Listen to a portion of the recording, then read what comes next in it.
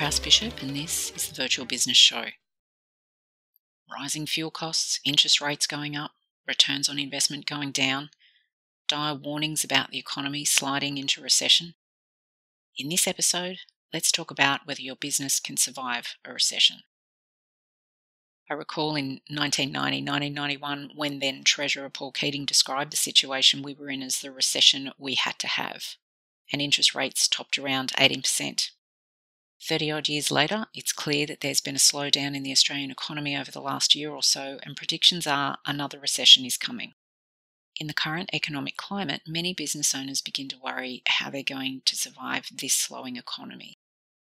Generally speaking, there are two options cut expenses or increase your revenue.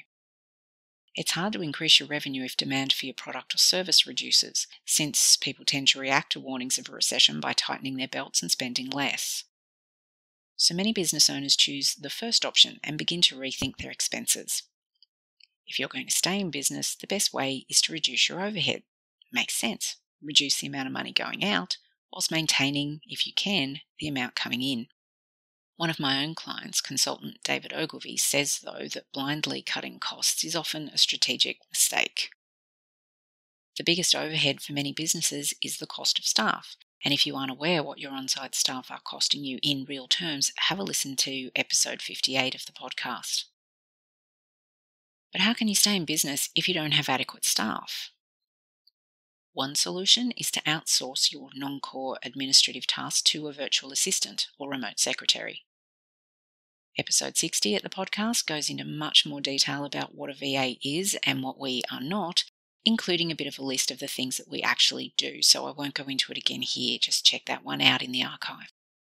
But to recap, virtual assistants are independent business owners who provide secretarial and administrative services to clients, usually from a home based office.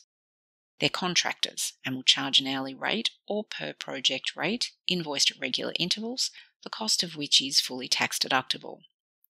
Since the VA isn't an employee, clients aren't responsible for the traditional staff on costs of superannuation, leave loading if applicable, time in lieu, works comp, and payroll tax. So, whilst the hourly rate of a professional experienced VA will appear quite high at first sight, it can actually end up costing the business significantly less than on site staff when those on costs are factored in.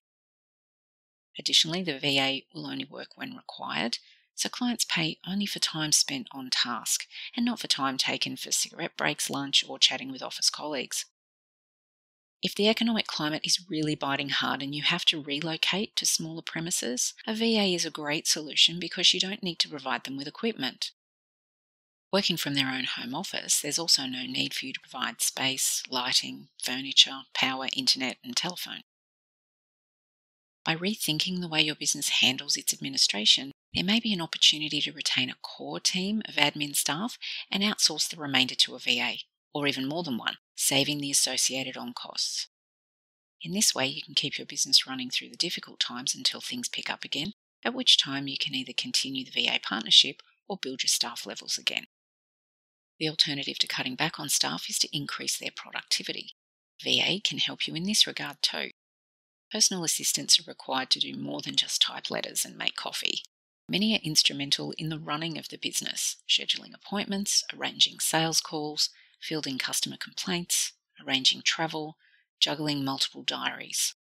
Outsourcing those tasks that your personal assistant doesn't have time for, things like dictation, document formatting, mail outs, report preparation, presentations, emails, setting up online meetings and sales calls, can free him or her up for helping track down new business, research leads, and other revenue generating activities, while still enabling the day to day workflow to proceed. A VA can handle a great deal of the projects in house staff would normally look after. Many VAs assist their clients with bookkeeping, internet research, corporate travel, looking after customer mailing lists and mailouts, website maintenance, marketing activities like gift purchases for clients, arranging holiday cards and gifts, handling customer orders, including processing and shipment, as well as personal tasks like booking holidays, researching better insurance deals, and reminding clients of important dates. If you have sales staff on the road, you can increase their productivity by having them utilise the services of a VA. Instead of waiting until they return to the office and inputting data themselves, the sales team can be dictating follow up notes on the fly, using either a dial in system or digital voice recorder for transfer to the VA, who can then input the information directly into an online database or customer relationship management program like ACT or Less Annoying CRM. By utilizing the services of a professional VA, your business stands a good chance of surviving in difficult or uncertain economic times without the need to lay off all your staff overload existing staff, or wind up doing all the work yourself.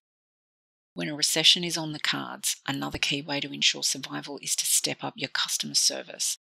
If demand for your service or product has gone down and you can't or don't want to cut overheads and or staff, then ensuring you provide stellar customer service to ensure your existing customers keep coming back to you is another way to survive these uncertain times. I speak often on the importance of excellent customer service, so check out the show archives and upcoming shows for more on this topic. I'm Lyn Prowse Bishop. Thanks so much for listening.